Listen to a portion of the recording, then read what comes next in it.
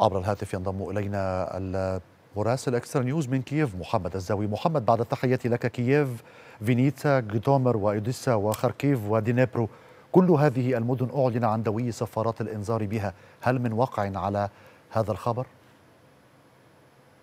آه، نعم تم تحية طيبة هي في الحقيقة آه، مع بداية آه، ربما الوقت حظر التجوال في العاصمة الأوكرانية كييف وغيرها من المدن الأوكرانية بداية من تقريبا من الساعة العاشرة مساء سمع دوي صفارات الإنذار في كبرى المدن الأوكرانية.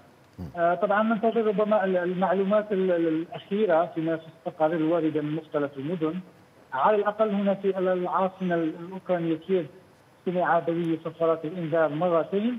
كان هناك حديث عن خطر جوي لكن آه، آه، لحد الساعة تبدو الأمور هادئة تقريبا وطالما هي كذلك اذا تطلعنا على ما وصلت بشأنه الأنباء بشأن الغارات أو العملية العسكرية الروسية التي أعلن عنها من قبل الرئيس في دونباس أو في غيرها من المدن إن وجدت.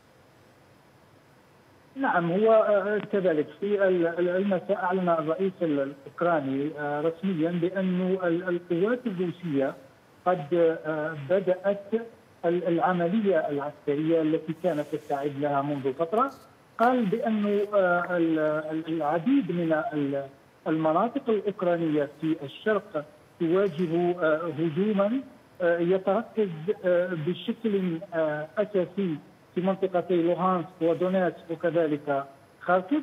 آه، شدد الرئيس زيلينسكي أيضا في خطابه المسائي امس بأنه بغض النظر عن عدد الجنود الذين يتم دفعهم من الجانب الروسي إلى أوكرانيا قال بأن بلاده ستدافع وان الجنود الأوكرانيين في الدنباس سوف يقاتلون ولم يتخلوا عن أي شبر من أراضيهم على حد قوله.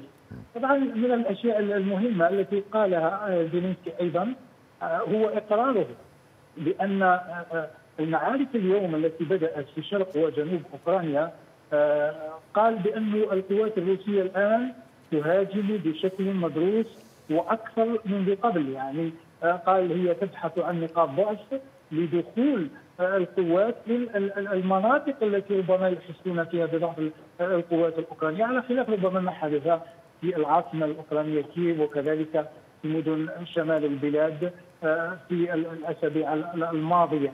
آه، الرئيس الأوكراني أيضا في رسالته آه، هذه طبعا في خضم اليوم الرابع والخمسين للحرب الروسية قال بأن القوات الروسية في الدنباس أكملت جميع استعداداتها لغزو المناطق يعني الشرقية لأوكرانيا وقال بأن هدفها ليس فقط المناطق الشرقيه ولكن الحفاظ أيضا على المناطق التي التي قال بأنها آه، تمكنت من احتلالها في جنوب البلاد.